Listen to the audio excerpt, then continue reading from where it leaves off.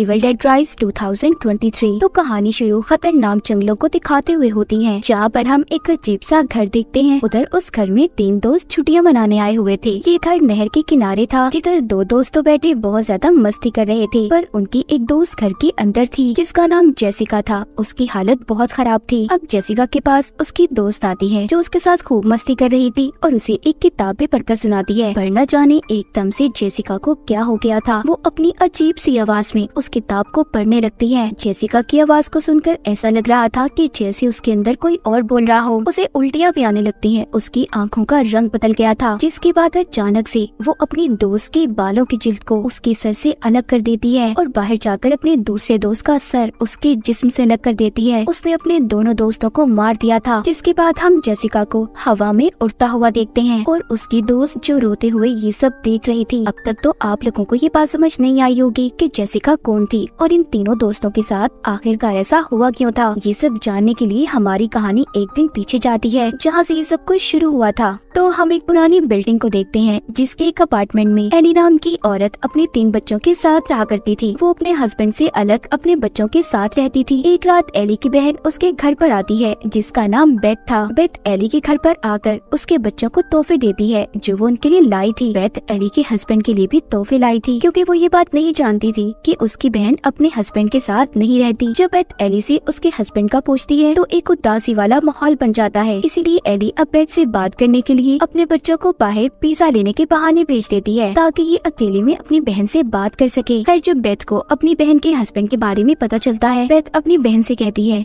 कि उसे इस बारे में उसे बताना चाहिए था। उधर बच्चे जब पिज्जा लेकर वापस आ रहे थे तो अचानक से अर्थ को एक जलसला आ गया था। एली के तीनों बच्चे कार पार्किंग में बैठ जाते हैं। थोड़ी देर बाद सब कुछ ठीक हो गया था। पर बात सिर्फ़ इतनी सी नहीं थी। एली का बड़ा बेटा डैनी देखता है कि जलसला आने की वजह से कार पार्किंग में एक बहुत बड़ा सुराख हो गया था। इतना बड़ा कि वो उसके अंदर भी जा सकता था। अब डैनी ये सब देखने के अंदर क्या हो सकता है? वो सुराख के अंदर चला जाता है, जहाँ पर उसे कुछ किताबें और रिकॉर्डेड ऑडियो टेप्स मिलती हैं। और टेप के ऊपर पार्ट वन टू और थ्री लिखा हुआ था। उसे कुछ प्रीस्ट फादर की तस्वीरें भी मिली थी। साथ ही उसे वहाँ पर बहुत से होली क्रॉस भी नज़र आते हैं, जिनको देखकर ये बात तो साफ़ थी कि यहाँ पर किसी बुरी ताकत को कैद करने का एक्सोसिज्म जादू किया होगा। वहीं पर वो एक कब्र को भी देखता है, जिसमें से जीसस क्राइस्ट की भी मूर्ति निकलती है। उसे उस कब्र से एक किताब भी मिली थी, जो कपड़े में ढांपी हुई थी। डैनी बिना कुछ जाने, उसे अपने साथ ले जाता है। उधर ऊपर इनकी मोम एली अपने बच्चों के लिए परेशान हो रही थी, क्योंकि उन्होंने टीवी पर इस खबर को सुना था कि जलजले की वजह से आसपास की बिल्डिंग्स को बहुत नुकसान हुआ है। इसलिए एली अपने पड़ोस में एक लड़के के पास जाती है। उससे अपने बच्चों को ढूँढने के लिए मदद मांगती है। साथ ही वहाँ पर एक बुज़ुर्ग लेडी भी थी, मगर थोड़ी ही देर बाद एली के बच्चे लिफ्ट से घर में आ गए थे, जिन्हें देखकर अली बहुत डांटती है और ये भी कहती है कि जब जलजला आए तो लिफ्ट का इस्तेमाल नहीं करना चाहिए। इतना कहकर वो अपना काम करने, लॉन्ड्री के लिए कपड़े लेकर लिफ्ट से जाने वाली थी। उधर डैनी उस किताब को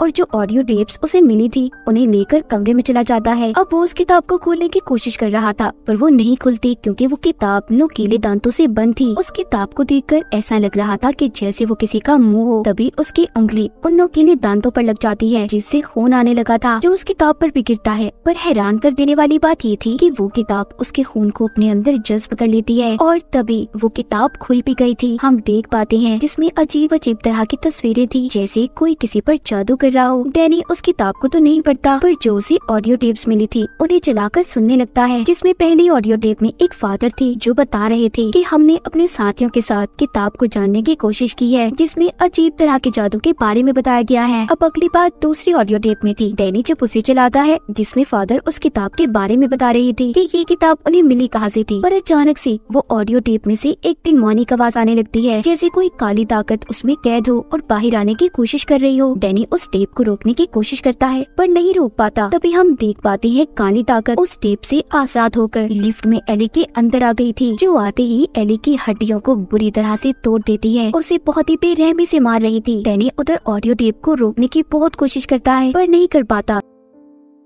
इतने में उनके घर की लाइट भी चली जाती है और किताब के सफे भी खुद ब खुद पलटने लगे थे। एली की बड़ी बेटी जब लाइट को चेक करती है तो हर तरफ़ लाइट थी, सिवाय उनके घर के। इसका मतलब जो कुछ भी गलत हो रहा था, वो सिर्फ़ इन्हीं के घर में था। थोड़ी देर बाद एली अपने घर वापस आ जाती है, जो दिखने में थोड़ी ठीक लग रही थी और वो चलकर अपने घर आई थी। मगर थोड़ी देर पहले हमने देखा था कि जो भी काली ताकत उसके अंदर थी, उसने एली की हड्डियों को तोड़ दिया था। मगर अब एली बिल्कुल ठीक चल पा रही थी और किचन में जाकर अंडे पकाने लगती है, जब उसके पास उसकी बहन आती है और उसे बुलाती है तो तभी वो उल्टिया करती है और अजीब सा बर्ताव करने लगी थी। एली जब थोड़ा सा अपने होश के अंदर आती है तो वो सिर्फ़ इतना कहती है, वो मेरे अंदर है, उसे मेरे बच्चों को कोई नुकसान मत पहुँचाने देना। इतना कहकर वो बेहोश हो गई थी। वो नीचे गिर जाती है। एली की बहन और उसके बच्चे उसे हॉस्पिटल ले जाने लगते हैं, पर सब लिफ्ट में जाने से डर रहे थे और सिलसिले की वजह से सीढ़ियाँ भी टूट चुकी थी। खैर, ये सब मिलकर एली को कमरे में लिटा देते हैं। अब उधर इनके पड़ोस का वही लड़का, जिससे एली ने अपने बच्चों को ढूँढने के लिए मदद मांगी थी। वो एली की आँखों को बंद करता है। मगर वो दोबारा खुल जाती है। वो फिर बंद करता है। वो फिर से खुल जाती है। ये सभी मिलकर एली के लिए प्रेयर करते हैं क्योंकि इन्हें लग रहा था कि वो मरने वाली है। तभी उसके पास उसकी बहन बैठती है और उसे ये बताने लगती है कि वो उससे कितना प्यार करती है। तभी बेट के फ़ोन पर बेल बजती है, जो कॉल किसी और की नहीं, बल्कि एली की थी, जो अपनी बहन से ये कह रही थी कि उसका जिस्म जल रहा है, उसे कोई बचाए। और तभी वो ज़िंदा होकर बैठ जाती है, जब बेथ अपनी बहन के जिस्म को हाथ लगाती है। तो वाकई उसका जिस्म गर्म था। ऐसा लग रहा था कि जैसे उसका जिस्म आग में चल रहा हो। तभी बेथ उसे बाथ टब में ले जाती है। तभी अचानक से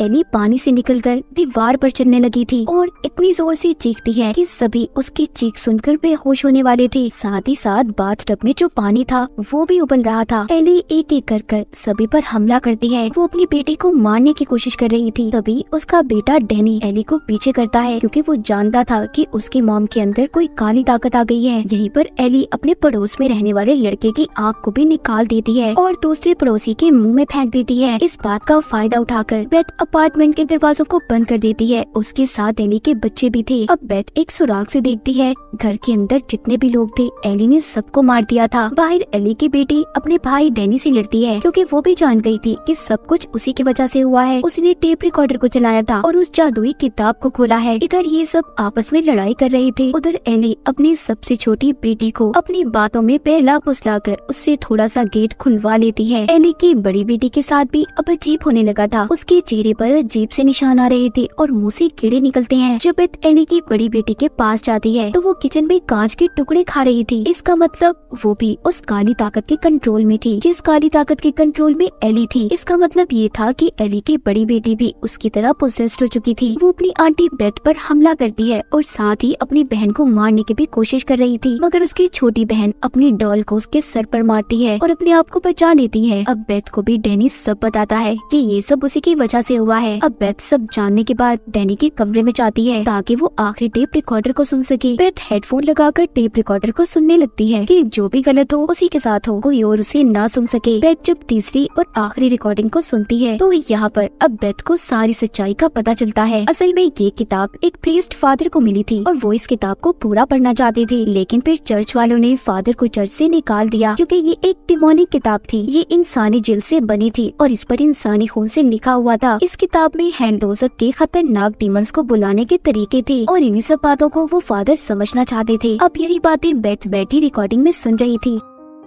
सब बातें सुनकर बेथ को भी यकीन आ गया था। उधर किचन में एली की बड़ी बेटी डैनी पर हमला करती है और उसे जला देती है। जिस कमरे में बेथ थी, वहाँ पर भी एली आ गई थी। बेथ उससे लड़ने की कोशिश करती है। एली यहाँ पर अपने मुँह से ये आवाज़ निकालती है, मैं जो भी हूँ, तुम मुझे आसानी से हरा नहीं सकती। अब बस बेथ और एली की छोटी बेटी ही बचे थे। एली अब यहाँ पर बेथ को मारने वाली थी। तभी एली की छोटी बेटी बेथ को कैंची देती है, जो बेथ एली के मुँह में डाल देती है, जिससे वो कुछ वक्त के लिए रुक गई थी। बेथ गन लेकर दरवाजे को तोड़ने वाली थी। तभी एली जाग जाती है और बेथ गन से एली पर ही गोली चला देती है, जो जाकर उसके पाँव पर लगी थी। एली अपनी छोटी बेटी को अपनी मीठी मीठी बातों में फंसाने की कोशिश करती है, पर उसकी छोटी बेटी सुनकर ये कहती है you are not my mom तुम मेरी मॉम नहीं हो। अब वहाँ पर एक एक कर कर जो लोग गैली ने मारे थे, वो ज़िंदा होने लगते हैं और ये कहते हैं कि शाम तक कोई भी नहीं बचेगा। यहाँ से बेथ और एली की छोटी बेटी के पास भागने के अलावा कोई और रास्ता नहीं था, पर जो लिफ्ट थी, वो बंद थी और दरवाज़ा भी बंद था। उस लिफ्ट के अंदर चाबियाँ फंसी हुई थी, क्योंकि जब एली पोजेस्ट हुई थी तो उसके हाथ में ये चाबियाँ थी। एली की बेटी अब चालाकी से उस लिफ्ट को चलाकर चाबियाँ निकाल लेती है और लिफ्ट भी चलने लगी थी। मगर हम देख पाते हैं कि एली की बड़ी बेटी और डैनी, जो कि मरने के बाद डीमंस के कंट्रोल में थे, खुद को लिफ्ट से जोड़ लेते हैं, जिससे अब जैसे जैसे लिफ्ट चलती है, उसके अंदर उनका खून भरने लगता है। जैसे लिफ्ट नीचे आ रही थी, खून भी बढ़ता जा रहा था। उधर उसकी ताप का सफ़ा भी पलट जाता है, जिसमें अजीब सा बना हुआ क्रिएचर था और देखते ही देखते एली भी अब उस क्रिएचर में बदल गई थी। उधर जैसे ही लिफ्ट नीचे आती है तो फ़ोन भी बाहर आता है। फ़ोन में भरी बेथ और एली की छोटी बेटी जल्दी से गाड़ी में बैठ जाती है, पर उनके सामने दोबारा एली आ गई थी, जो की अपने डिमोनिक रूप में थी। वो अपनी छोटी बेटी पर हमला करती है। तभी बेथ चेंसॉ लेकर उसे मारने लगती है, मगर साथ ही वहाँ पर एली की बड़ी बेटी और डेनी भी आ गई थी। बेथ उन तीनों को पासी चलती ग्राइंडर मशीन में डालकर मार देती है। अपनी ही फैमिली के तीन लोगों को मारना